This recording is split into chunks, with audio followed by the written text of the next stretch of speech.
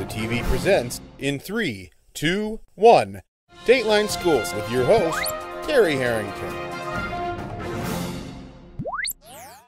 All this week on Dateline Schools, we're learning about the Michigan Mathematics and Science Center Network as they recently had a meeting here at St. Clair County. RESA, and tell us all about it. My special guest is the director of St. Clair County's Math Science Center, Jim Licht, and the executive director of the Michigan Network, Dr. Mary Starr. And, and, and Dr. Starr, um, this is one of four meetings that your network generally holds uh, throughout around the state throughout the year.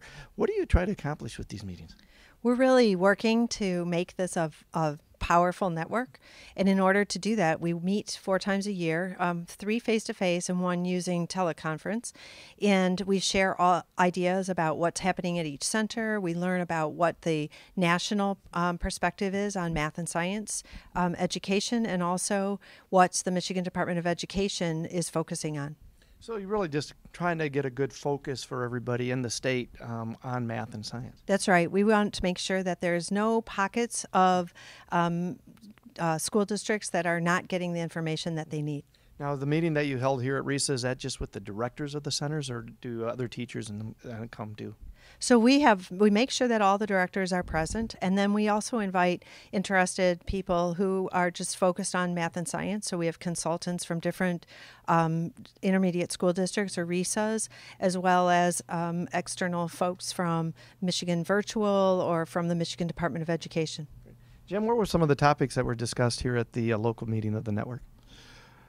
A lot of the uh, a lot of time spent at these meetings is for our committees to do work. So we have various standing committees that will will do some work.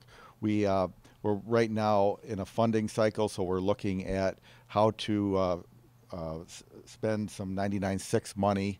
Uh, we, we're looking at a project called uh, Next Generation Science Standards. We're looking at um, the NGSX program as uh, being one of the things that we're going to work on with the 99.6 money. Uh, we have different projects that are wrapping up. Uh, Project Prime is in its last year, so we will be talking about that a little bit. So, pretty wide range of things that you guys discuss on a regular basis. Yes. We'll be back with more tomorrow. For Dateline Schools, I'm Terry Harrington.